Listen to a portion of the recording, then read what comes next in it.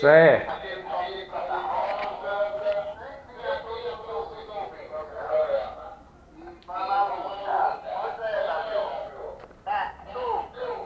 Valeu, Ravena Oliveira, participando aqui com a gente. Muito obrigado pela audiência. Polícia Federal faz buscas contra suspeito de usar nomes de Neymar, Luciano, é, deve ser Luciano Huck e Guedes para auxílio emergencial. É, pois é, a Polícia Federal suspeitou. A malandragem não perdoa nem os famosos, né? A ver porque que Neymar vai fazer um auxílio emergencial, né? Não tem como. Vamos ler aqui essa notícia na íntegra. Polícia Federal faz buscas contra suspeitos usar nomes de Neymar, Luciano Huck e Guedes para receber auxílio emergencial. Isso foi lá no Ceará, viu minha gente? A Polícia Federal cumpriu na manhã desta terça-feira, dia 27, ontem, um mandato de busca e apreensão na Grande Fortaleza contra um suspeito de aplicar golpes para receber o auxílio emergencial do governo federal, utilizando dados de figuras públicas como o jogador Neymar, o empresário Luciano Huck e o ministro da Economia. Eu acho que é Luciano Rank, né? O cara botou aqui, errou aqui. Luciano Rank, perdoe. Paulo Guedes, o ministro da Economia. É, e o investigado abriu contas fraudulentas na Caixa Econômica Federal para obter o benefício de 600 reais. Nenhum dos citados tem envolvimento com os crimes. Pois é, sobre as investigações, a Caixa Econômica Federal afirmou para o G1 que, como se trata de demanda de investigação da Polícia Federal, o órgão emite nota sobre o assunto. No endereço do suspeito foram apreendidos aparelhos celulares com os quais realizavam as transações e documentos. Ele morava em Maracanaú, onde foi cumprido o mandato de busca e apreensão. Em uma das ações, de acordo com as investigações, o homem abriu duas contas usando os dados de Neymar, sendo uma delas como já disse recebeu auxílio. Segundo a Polícia Federal, também foi identificada a aprovação do benefício em nome de Luciano Ranto, cujo valor foi transferido para a conta fraudulenta aberta com informações de Neymar nos meses de abril e maio deste mês. Pois é.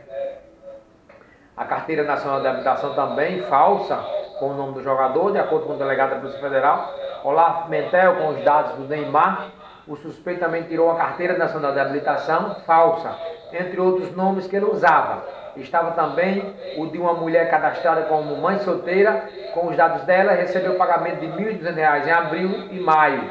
No entanto, então, com as contas falsas, foram R$ 5.400. O golpe total desse cidadão foi R$ 5.400. Mas, segundo a Polícia Federal, pode haver mais nomes e o montante pode ser maior. A investigação pode apontar.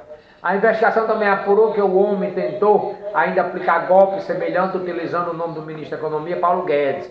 Onde é que o ministro da Economia, você que é falsário, que inventou de fazer esse truque, onde é que um ministro da Economia vai fazer um auxílio emergencial de 600 reais? Onde é que Neymar ia fazer isso? Use outros nomes, rapaz, isso aí não deu certão. Ele conseguiu sacar a parcela do auxílio depois de cadastrar diversas pessoas de forma fraudulenta no benefício. Caso as denúncias sejam comprovadas, o investigado e quaisquer outros envolvidos nas fraudes contratadas na investigação responderão pelos crimes de estelionato majorado, falsificação de documento público, uso de documento falso e organização criminosa. Pois é, é toda a ação desse cidadão, ele apurou 5,400, né? Sendo pego, o advogado pega logo 10 mil para começar. Vai o prejuízo. Depois, cadeia. Depois, o tempo perdido na cela, né? Não, não compensou. Não compensou, né? Vai ter que usar outro meio aí de ganhar o dinheiro, porque isso aí não decolou. Por enquanto, não decolou. Um alô para Vanim da Carroça, escutando o programa. Candidata a vereadora é detida em uma operação que apreendeu 190 quilos de maconha. Não tem nem como dizer que é viciada, né? Porque viciada é uma, uma quantia pequena, mas 190 quilos não tem como dizer, né? Vamos ver o que ela disse aqui, olha. Noemi da Silva, 39 anos, candidata a vereadora em Blumenau, Santa Catarina, foi presa em flagrante na noite de ontem pelo crime, pelo crime Deixa eu olhar aqui, a ligação coisou, perdi aqui o sentido aqui. Na noite pelo crime de tráfico de drogas na cidade, após uma denúncia, a polícia militar chegou até uma residência onde havia 190 quilos de maconha, quatro armas de fogo, munição e 17 mil reais em espécie. Outras duas pessoas foram detidas. A defesa da candidata nega a participação. A Polícia Militar informou que o caso aconteceu na rua Eric Bels, bairro Heitor Paiva Central, após denúncia de que uma residência estaria sendo utilizada para o depósito de drogas. Chegando ao local, os militares observaram a movimentação suspeita na residência. Dois veículos estavam saindo do local, dentro de um deles foi encontrada cerca de um quilo de maconha em uma mochila. O que aconteceu? Já dentro da casa, a mãe de um dos suspeitos informou que havia outros materiais ilícitos sendo localizadas com grande quantidade de maconha, armazenada em um dos cômodos, além de quatro armas de fogo, munições, balança de precisão. Balança de precisão, minha gente, é balança digital, que diz bem direitinho quantas gramas tem, quantos quilos. Não tem erro não, balança de precisão. E 17 mil reais em dinheiro, né? Três pessoas, entre elas a candidata, foram detidas e encaminhadas à central de polícia de Blumenau. Conforme a polícia militar, ela, esta é a maior pressão de drogas no ano da cidade. Pois é, a candidata vereadora aí, dessa vez não deu certo, são 190 quilos de maconha que foram apreendidos. Não é isso?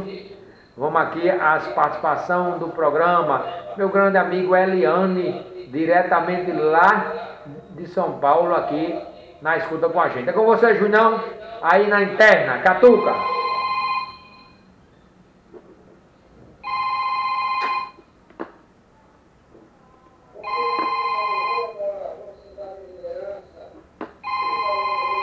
Chegou aí?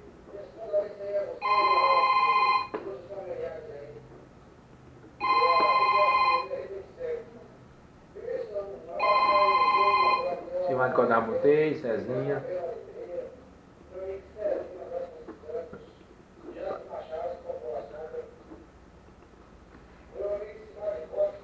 É, que foi as notícias de hoje, dessa quarta-feira, que foram destaque, né? É um artista, outros candidatos a medonha, né? 190 quilos, né, Liana? É um artista. Pois é, notícias foram hoje. Uma candidata a vereadora, 190 quilos de maconha, né? A situação foi essa. Muito difícil. Até o próximo. Vamos lá?